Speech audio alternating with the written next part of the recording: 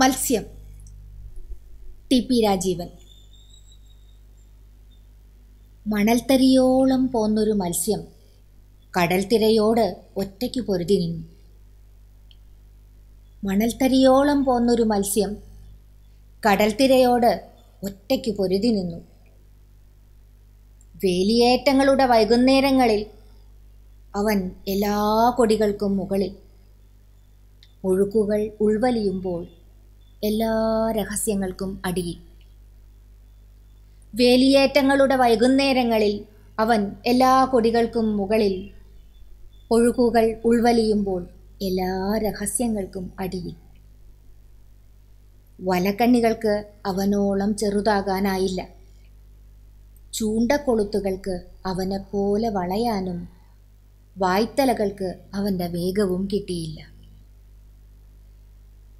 വലക്കണ്ണികൾക്ക് അവനോളം ചെറുതാകാനായില്ല.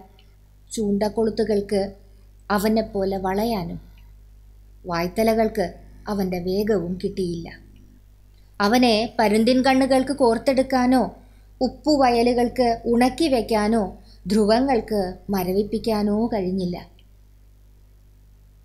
അവനെ പരുന്തിൻ കണ്ണുകൾക്ക് കോർത്തെടുക്കാനോ ഉപ്പുവയലുകൾക്ക് ഉണക്കി വയ്ക്കാനോ ധ്രുവങ്ങൾക്ക് മരവിപ്പിക്കാനോ കഴിഞ്ഞില്ല. നക്ഷത്രങ്ങളും അവതാരങ്ങളും അവന്റെ തലയ്ക്കോ വാലിനോ മുകളിലൂടെ കടന്നുപോയി.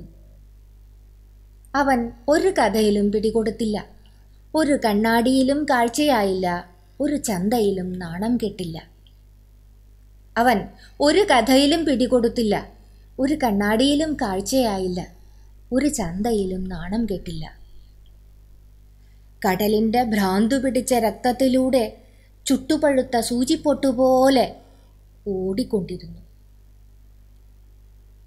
കടലിന്റെ ഭ്രാന്തു പിടിച്ച രക്തത്തിലൂടെ ചുട്ടുപഴുത്ത സൂചിപ്പൊട്ടുപോലെ ഓടിക്കൊണ്ടിരുന്നു. പിന്നിൽ തന്നെക്കാൾ വേഗത്തിൽ കടൽ ദഹിച്ചു ദഹിച്ചു വരുന്നത് അറിയാതെ പിന്നിൽ തന്നെക്കാൾ വേഗത്തിൽ കടൽ ദഹിച്ചു ദഹിച്ചു വരുന്നതറിയാതെ.